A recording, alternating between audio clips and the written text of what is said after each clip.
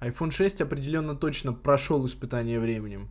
Конкретно этот телефон пережил уже, по-моему, две мировые войны и все еще остается в строю.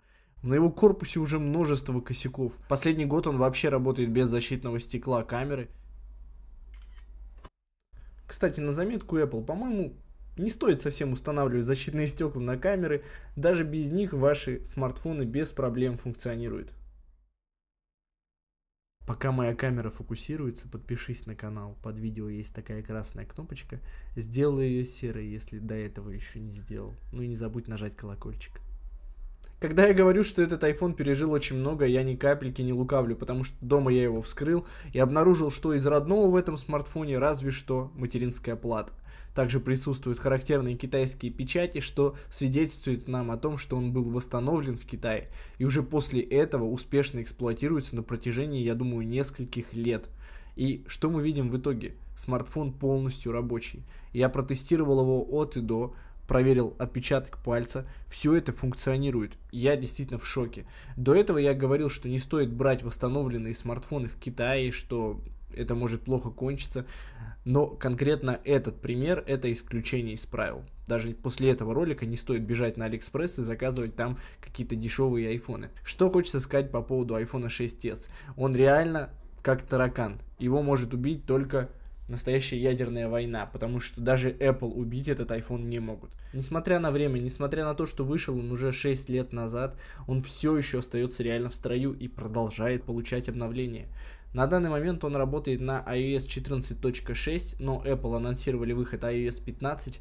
Да, там не будет каких-то там фишек новых айфонов, что это там типа определение текста камерой или портретного режима FaceTime, но это очевидно, этого и не должно здесь быть. Сам факт, что этот смартфон получает новую iOS и будет еще поддерживаться компанией, на него будут выходить приложения, то есть в принципе, Apple допускает использование iPhone 6s в наше время. Но сам факт, что вот эта модель iPhone 6s все еще живой, все еще функционирует и на данный момент стоит какие-то вообще сумасшедшие копейки, это просто меня сводит с ума.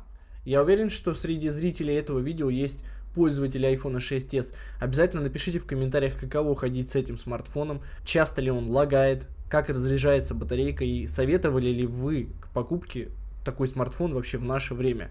И если брать этот смартфон вот с новья, с нуля, не такой, как у меня уже бэушный, поношенный, потрепанный, а взять вот чисто iPhone 6s, которым еще никто не пользовался, это был бы запечатанный гаджет, ну или хотя бы официально восстановленный iPhone от Apple гигов так хотя бы на 30, в идеале вообще, конечно, на 128. И стоил бы он, допустим, ну, 1015. За эти деньги это отличный смартфон, отличный. Из конкурентов можно приобрести, ну, например, какой-нибудь Vivo U31, который я купил, но даже обзор на него не хочу снимать, потому что, ну, по-моему, не очень интересно.